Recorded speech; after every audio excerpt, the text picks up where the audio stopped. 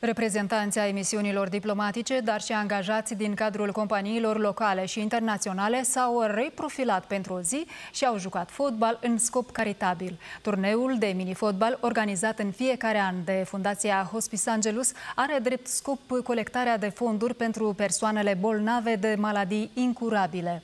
La final, cele 17 echipe au colectat peste 90.000 de lei și s-au ales cu medalii și trofee.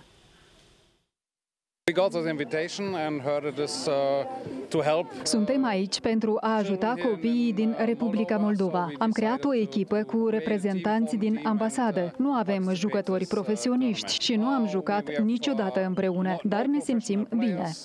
Ambasada României a răspuns întotdeauna și va răspunde cu mare drag și plăcere uh, prin uh, participări la astfel de evenimente caritabile. Pășim cu forțe proaspete și cu dorința de de mm, a contribui cu adevărat uh, la uh, succesul unui astfel de eveniment uh, caritabil. În cadrul ambasadei încercăm să susținem organizațiile locale, iar Hospice Angelus este printre ele. Pe lângă faptul că îi ajutăm pe cei care suferă, noi mai facem și sport.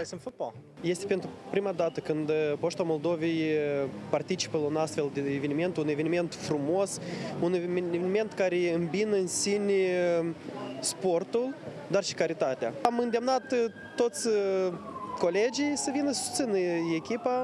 La competiție au participat patru echipe formate din reprezentanții misiunilor diplomatice, iar alte 13 sunt angajați din cadrul companiilor locale și internaționale. Regula de aur a acestei competiții și de fapt a evenimentului în sine este că toată lumea este amatoare, deci niciun profesionist în nicio echipă și um, până la moment am reușit să colectăm 90.000 de lei, uh, deci resurse financiare care vor fi direcționate în susținerea copiilor și adulților cu diagnostic necruțător. Cupa anuală la fotbal Hospice Angelus Moldova este la cea de-a 10-a ediție.